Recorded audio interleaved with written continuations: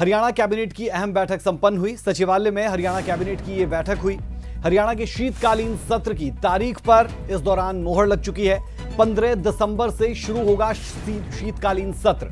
ये बड़ी खबर अपने दर्शकों को बता दें, कैबिनेट की बैठक में तय हुई सत्र की तारीख कि सत्र 15 दिसंबर से शुरू होगा। ये बड़ी और अहम जानकारी हम अपने दर्शकों को दे दें कि हरियाणा कैबिनेट की जो अहम बैठक हुई है शीतकालीन सत्र की तारीख पर मोहर लग चुकी है। 15 दिसंबर से शीतकालीन सत्र की शुरुआत होगी। कैबिनेट की बैठक में सत्र की तारीख पर मोहर लगी है। तकरीबन एक घंटे के आसपास, दो घंटे, एक घंटे से दो घंटे के बीच ये बैठक चली। सीधे रुक कर लेते हैं। चंडीगढ़ से संवाददाता रवि चंदेल हमारे साथ जुड़े हैं। रवि, शीतकालीन सत्र की तारीख को लेकर मोहर लगी और कौन कौन सी अहम बातें रही कैबिनेट बैठक की?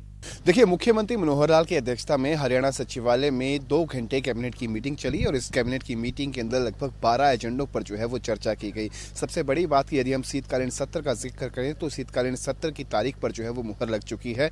पंद्रह दिसंबर से हरियाणा विधानसभा का शीतकालीन सत्र जो है वो शुरू होगा। हालाँकि अवधि को लेकर अभी भी जिस तरीके से यदि हम अवधि का ज़िक्र करें तो अवधि पर जो है वो आधिकारिक तौर पर जो है वो बिज़नेस एडवाइजरी कमेटी की बैठक के अंदर जो है वो पता लगेगा कि आखिरकार शीतकालीन सत्र की अवधि जो है वो कितने दिनों की रहती है। लेकिन यदि हम शीतकालीन सत्र की शुरुआत का ज़िक्र करें तो पंद्रह दिसंबर से शीतकालीन सत्र की जो है वो शुरुआत होगी। इसके अलावा यदि हम ज़िक्र करें, सेवानिवृत्त अधिकारियों को पुनर्नियुक्त करने को लेकर जिस तरीके से इस इस मुद्दे पर जो थी वो, मंथन होना था तो इस मुद्दे पर भी मंथन जो है वो किया गया। साथ ही साथ यदि हम ज़िक्र करें, प्रदेश के अंदर तमाम जो विकास के कार्य चले हुए हैं, उन विकास के कार्यों को और अधिक तीव्र गति देने के लिए सरकार जो है वो लगभग एक हज़ार करोड़ रुपयों का कर्जा जो थी वो लेने वाली थी, जिसको लेकर कैबिनेट की मंजूरी जो थी वो बेहद ज़रूरी थी, जिस पर जो है वो ज़ाहिर तौर पर मुहर जो है वो लगी होगी। इसके अलावा बहुत से अन्य मुद्दे थे जिन पर जो है वो कैबिनेट की मीटिंग के अंदर जो है वो चर्चा की गई। जी।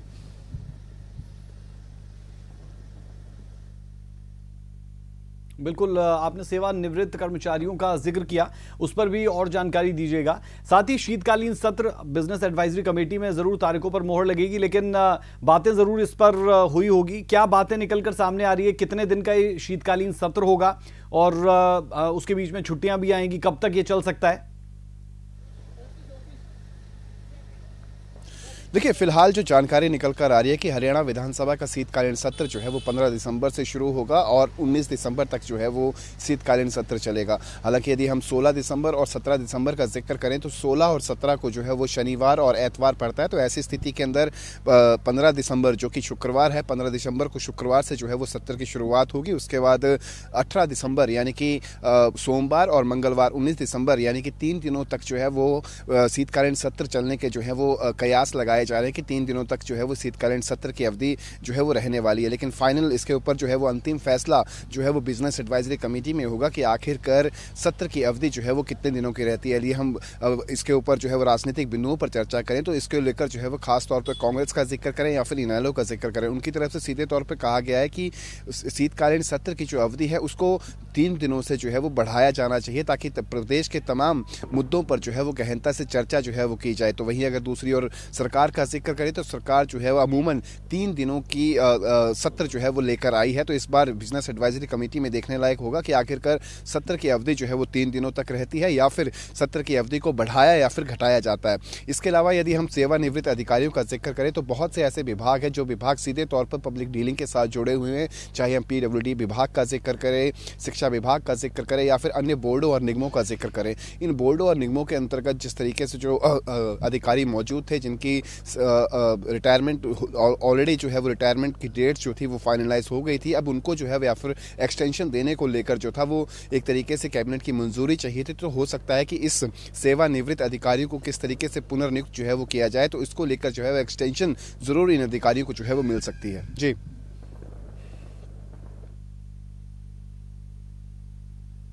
बिल्कुल रवि अमूमन ऐसा ही होता है कि जो विपक्ष है वो चाहता है कि लंबा सत्र चले, लेकिन सत्र के दौरान भी हम देखते हैं कि कैसा हंगामा देखने को मिलता है और कितनी ही चर्चा हो पाती है। लेकिन बहुत बहुत इंटरेस्टिंग रहने वाला है शीतकालीन सत्र भी। बहुत से रीजंस है, बहुत से मुद्दे हैं जिन्हें लेकर विपक्ष सरकार को घेरता हुआ नज़र आएगा और सरकार जो उनके द्वारा काम किए गए हैं, उनकी तरफ़ अपना ध्यान आकर्षित करता हुआ नज़र आएगा। लेकिन जो विधायक है, हम देखते हैं अमूमन कि जब आखिर के सत्र रहते हैं, खासतौर पर जब किसी स्टेट में एक साल से कम का वक्त बचा हो चुनावों का तो लोग पॉलिटिकल लाइन से हटकर भी सवाल पूछ देते हैं, क्योंकि उन्हें अपने लोगों को, यानी अपनी विधानसभा के लोगों को भी जाकर जवाब देना होता है। ऐसे में हम कह सकते हैं कि बहुत हंगामेदार और असरदार रहने वाला है जो शीतकालीन सत्र होगा। उसे लेकर पॉलिटिकल सर्कल में किस तरीके की चर्चा, खासतौर पर विधायकों में?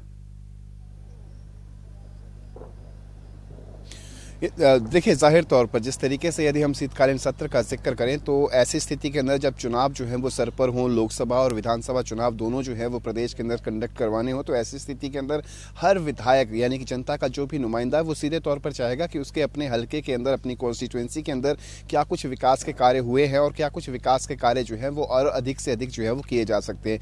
इसको लेकर यदि हम सीधे तौर पर सत्ता पक्ष का ज़िक्र करें, भारतीय जनता पार्टी का ज़िक्र करें तो उनकी तरफ़ से सीधे तौर पर खुद मुख्यमंत्री मनोहर लाल ने जो है वो मोर्चा संभाला हुआ है। हर सप्ताह के मंगलवार को जो है वो मुख्यमंत्री विधायकों से जो है वो व्यक्तिगत तौर पर जो है वो मुलाकात भी करते हैं। साथ ही साथ जो उनके हल्कों की जो समस्याएँ हैं और जो विकास के कार्य उनके हल्कों में चलाए जा रहे हैं उन विकास के कार्यों का जो है वो सीधे तौर पर मुख्यमंत्री संज्ञान भी लेते हैं कि आखिरकार उनके हल्कों के विकास के कार्य जो है वो कहाँ तक पहुँचे। तो वहीं अगर हम विपक्ष का ज़िक्र करें कांग्रेस का ज़िक्र करें तो ज़ाहिर तौर पर कांग्रेस के जो विधायक हैं उनकी तरफ़ से सीधे तौर पर कहा जाता है कि बहुत से ऐसे काम हैं जो उनके हल्कों के अंदर जो है वो नहीं किए गए। उनकी तरफ़ से सीधे तौर पर आरोप लगाए जाते हैं कि भेदभाव जो है वो कांग्रेस के विधायकों के साथ जो है वो किया जाता है। लेकिन यदि हम मुख्यमंत्री के बयानों को सुने या फिर जिस तरीके से मुख्यमंत्री द्वारा विधानसभा के अंदर भी कहा, सीधे तौर पर कहा गया था कि हमने हर सबका साथ, सबका विकास के भाव के साथ जो है वो काम किया है और हर विधायक चाहे वो किसी भी राजनीतिक दल से जुड़ा हुआ क्यों ना हो, हर विधायक को जो राशि मुहैया की जाती है, उनके अपने कॉन्स्टिट्यूंसी के डेवलपमेंट्स के लिए वो राशि जो है उन्हें प्रदान की गई है। साथ ही साथ सड़कों का खासतौर पर हर सत्र के अंदर जो है वो सड़कों का मुद्दा पानी का मुद्दा